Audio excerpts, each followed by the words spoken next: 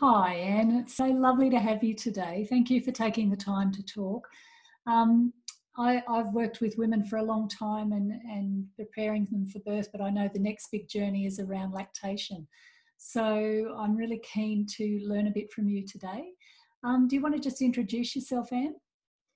Hey Tracy, thank you for having me today. Um, yes, you're right. So my name is Anne. Um, I'm originally from Germany and I have been a midwife for many years, so to be exact, about 23 years. Um, and I always have worked with women um, when they were pregnant, during birth, postnatally. And about five years ago, I set my exam to become an internationally certified lactation consultant. So we moved to ACT about four and a half years and I decided to serve the women in a private business capacity as a lactation consultant again because I could see there is a big need here. Mm. Oh, you're so right, Anne. And with uh, uh, what I'm noticing with my families is there's a lot of um, um, hit and miss support after they've had their baby. And that's one of the biggest feedback that I get from my family. So having somebody that they can call on to help them with lactation is just absolute gold. So I'm so glad you're out there helping women. Um, can you tell me what are the typical challenges that women experience once they've had their babies and, and establishing good breastfeeding? Yeah, sure. I mean, look, I see women at various stages in their breastfeeding journeys. So I would say the majority, around 80% of women who I see, um, are possibly in that time between birth and about eight weeks after they had their baby. But I also see women much later on in their journeys. Um, so, and the the issues or the concerns why women call me usually um, will vary obviously accordingly. So in the early days, it might be that they're worried about how the baby's latching or the baby's weight gain, um, or breastfeeding might be painful. Um, a bit later, it might be that they have a drop in milk supply. And then again, um, much later, they might have babies that are teething. And so obviously breastfeeding might be uncomfortable. Or also I see women sometimes when they actually want to end the breastfeeding journey. So it could be years later, really. Yeah, wow, that's great. Um, there's, I've noticed, Anne, over the years that there's been a real move towards women buying breast pumps and doing a lot mm. of expressing both, both pre-birth and also after. Can you tell mm. us a little bit about that? Yeah, so look, um, certainly um, the recommendation is often that women start to try to hand express before they had their baby, you mm. know, and that um, there is a historically that came from women who have a high risk pregnancy and might have arrested the may need that expressed colostrum in the early days. Um, and I'm certainly for educating women how to. Um, but I also see that women already are buying really expensive pumps um, before they even have a baby. And I understand that there are situations where women indeed need that, you know. So, for example, let's say if women know they will go back to work very early on, then a breast pump can be very useful. Or, for example, a woman who has a preemie baby might see herself um, trying to maintain her supply by really expressing very regularly. So, what I'm trying to say, I suppose, is there are situations where a breast pump can be really handy. But I also believe that we shouldn't forget that breastfeeding doesn't have to be that complex, right? So the main thing in a breastfeeding journey is, at one hand, a mother who wants to breastfeed and a baby who should be breastfed or could be breastfed. And then obviously we have also the role of the partner and the family in that, you know. So if women were, how would a woman know that she's having difficulties with breastfeeding and does need that support? What are the sort of signs that she could pick up on? Yeah, I mean, again, so going back to what do I see, why women engage in my care or in, you know, possibly with other providers, um, is when breastfeeding is obviously painful. That's a very common one, you know, because that can be really disheartening and it can be really stressful. Um, then, obviously, if babies um, have some issues in gaining weight, you know, we like to actually explore that a little bit.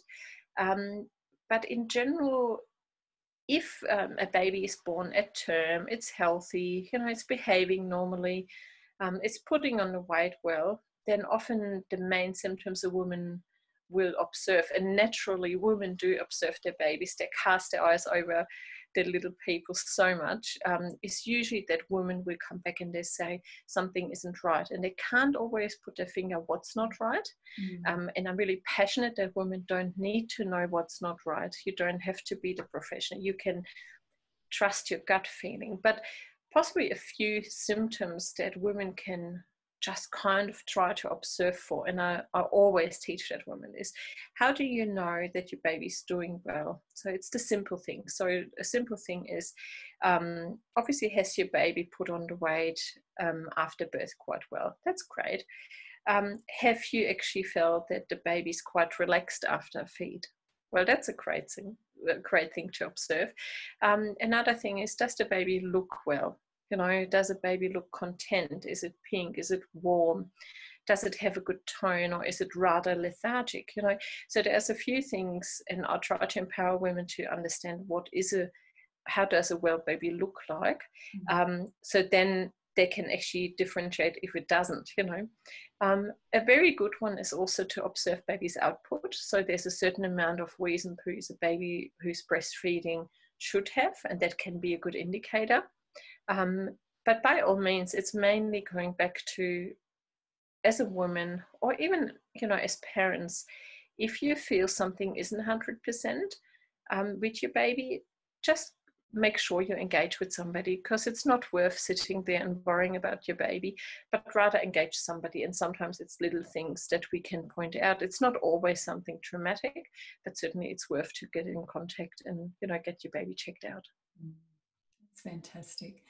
Um, where would a woman find lactation support? Like, what sort of options are there? Yeah, there's quite a few options. So, obviously, um, depending on the person's circumstances and also depending where she might already be linked in with, um, she has several options. So, yep, she can engage a, a, private lactation consultant, and in ACT, we have a, a really good range of us. You know, we have a lot of great support around, and most of us are listed on the web website, which is LCANZ. Um, and that means the LCANZ website that's actually lactation consultants who have gone through a certain credentialing process. Then also some of, well, actually all of the hospitals have lactation consultants in their own rights. Um, then they also have some private midwives working in the community they can engage. Um, not all of them are lactation consultants, but certainly very experienced midwives. Um, then community child health, um, they have a good range of practitioners working for them. And last not but not least, um, one of my favorites is Australian Breastfeeding Association. Mm. Um, they are a fabulous uh, support network for women virtually, um, not just in ACT, but Australia wide. And they do so many good things like education. They have a 24 hour hotline, which is amazing. They also do peer to peer support and also have a really fabulous website. Mm. Oh, that's great. The. Australian Breastfeeding Association were fantastic when I was having my children. It was lovely being mm. around mm. women who were normalising breastfeeding for me and, and helping me to overcome some of the challenges. So, yeah, I love those community groups. They're fantastic. How would people find you, Anne? Because I'd like to know how they could find Yeah, sure. Mm. Yeah, so obviously, um, I try to have a little bit of a presence online, so they can just go on my website, which is www.breastfeedinghelponline.org. They also can find me on Facebook under Breastfeeding Help, or if they put in Breastfeeding Help Canberra, I come up as well.